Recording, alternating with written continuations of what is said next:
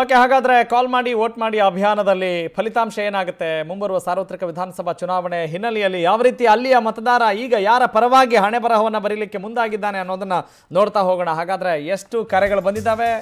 ಯಾರ ಪರವಾಗಿ ಎಷ್ಟು ವೋಟ್ಗಳು ಲಭ್ಯವಾಗಿದ್ದಾವೆ? ಜಯನಗರ ಕ್ಷೇತ್ರದಿಂದ ಬಂದಂಥ ಒಟ್ಟು ಕರೆಗಳ ಸಂಖ್ಯೆ one two three eight four ಪುರುಷ ಮತದಾರರು ಹನ್ನೊಂದು ಸಾವಿರದ ತೊಂಬತ್ನಾಲ್ಕು, ಮಹಿಳಾ ಮತದಾರರು ಸಾವಿರದ ಇನ್ನೂರ ತೊಂಬತ್ತು.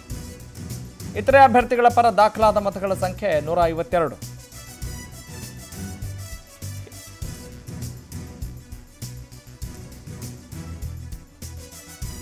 ಬಿಜೆಪಿ ಪರ ಮತ ಚಲಾಯಿಸಿದ್ದಾರೆ ಮೂರು ಸಾವಿರದ ಮುನ್ನೂರ ಐವತ್ತು ಪುರುಷ ಮತದಾರರು ನಾನ್ನೂರ ಎಪ್ಪತ್ತಾರು ಮಹಿಳಾ ಮತದಾರರು.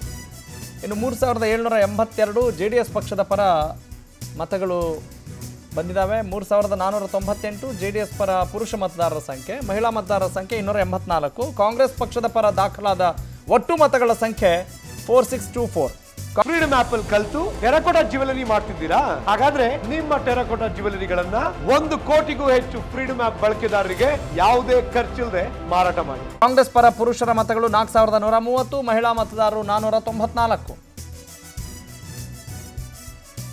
ಜಯನಗರದಲ್ಲಿ ಕಾಂಗ್ರೆಸ್ ಪಕ್ಷದ ಪರ ಶೇಕಡ ಮೂವತ್ತೇಳರಷ್ಟು ಮತಗಳು ದಾಖಲಾಗಿದ್ದಾವೆ.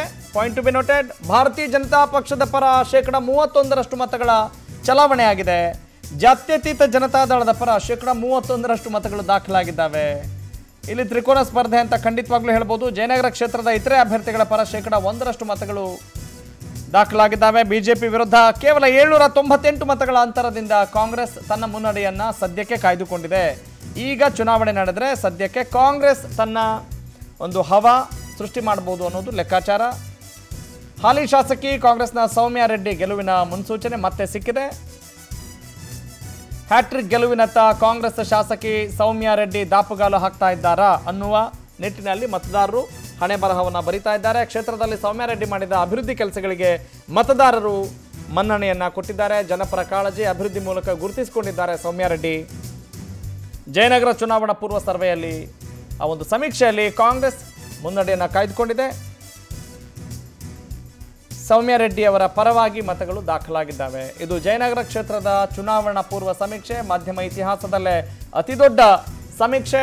ಅದು ಪವರ್ ಟಿವಿಯ ಎಲೆಕ್ಷನ್ ಸೆಂಟರ್ನಲ್ಲಿ ಕಾಲ್ ಮಾಡಿ, ವೋಟ್ ಮಾಡಿ ಅಭಿಯಾನದ ಮುಖೇನ. ಹಾಲಿ ಶಾಸಕಿ ಸೌಮ್ಯ ರೆಡ್ಡಿ ಮತ್ತೊಮ್ಮೆ ಕಾಂಗ್ರೆಸ್ ಪಕ್ಷದಿಂದ ಕಣಕ್ಕಿಳಿದು ಜಯಭೇರಿ ಬಾರಿಸುವ ಒಂದು ಮುನ್ಸೂಚನೆಯನ್ನ ಜನ ನೀಡಿದ್ದಾರೆ. Tejaswini Ananthkumar S K Nataraj, N R Ramesh ನಡುವೆ ತೀವ್ರ ಪೈಪೋಟಿ ಇದೆ ಟಿಕೆಟ್ಗಾಗಿ. ಜೆಡಿಎಸ್ ಪಕ್ಷದಿಂದ ಹೇಮಾ ಕಣಕ್ಕಿಳಿಯಲಿದ್ದಾರೆ ಅನ್ನೋ ಮಾಹಿತಿ ಇದೆ.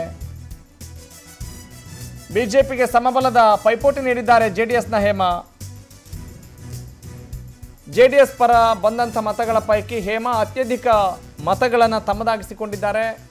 ಇದು ಜಯನಗರ ಕ್ಷೇತ್ರದ ಸಮೀಕ್ಷೆಯ ಸದ್ಯದ ಟ್ರೆಂಡ್.